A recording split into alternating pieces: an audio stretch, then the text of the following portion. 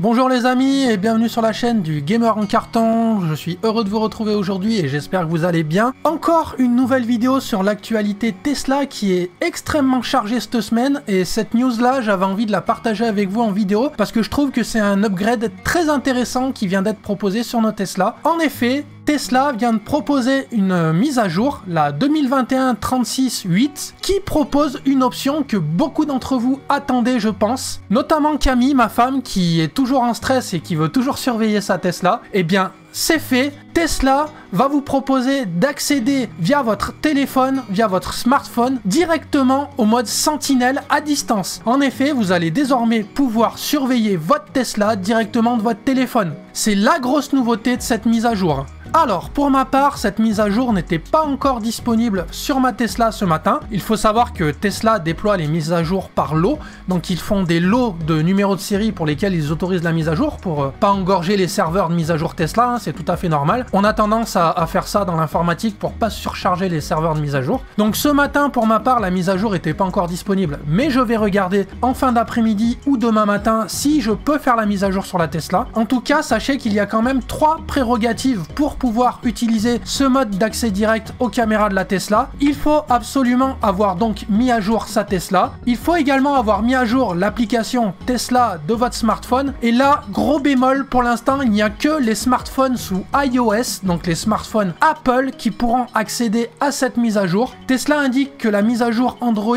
arrivera incessamment sous peu. Et enfin, il faut absolument avoir le pack premium de chez Tesla, facturé 9,99€ par mois, le fameux pack de connectivité premium. Personnellement, je l'ai déjà, puisque je lui trouve un intérêt ne serait-ce que pour l'accès à Spotify. Mais si vous n'avez pas le pack de connexion premium de chez Tesla, vous ne pourrez pas prétendre à surveiller votre Tesla à distance et avoir accès aux caméras de votre Tesla à distance. Pour ma part, je trouve que c'est vraiment une grosse nouveauté super intéressante. On va pouvoir, en cas d'alerte ou en cas de doute, directement du smartphone regarder ce qui se passe autour de la Tesla et se déplacer directement à la Tesla si besoin s'en fait sentir. Je trouve que c'est quelque chose qui manquait vraiment beaucoup à la voiture puisque toutes les conditions étaient réunies pour qu'on puisse avoir cette option là et je comprenais pas pourquoi Tesla ne nous permettait pas d'avoir accès aux caméras à distance. Eh bien, c'est chose faite. Donc, vous pouvez vous précipiter vers votre Tesla pour voir si la mise à jour est disponible. Si c'est le cas, n'hésitez pas à la faire et à faire les retours dans cette vidéo pour savoir si ce mode fonctionne bien ou pas. Moi, dès que j'aurai accès à ce mode-là, bah évidemment, je vous en ferai une vidéo et un retour. Donc voilà, vidéo très brève ce matin, simplement pour vous indiquer que cette mise à jour est disponible. Donc n'hésitez pas à la faire si vous pouvez le faire. J'ai été heureux de partager avec vous cette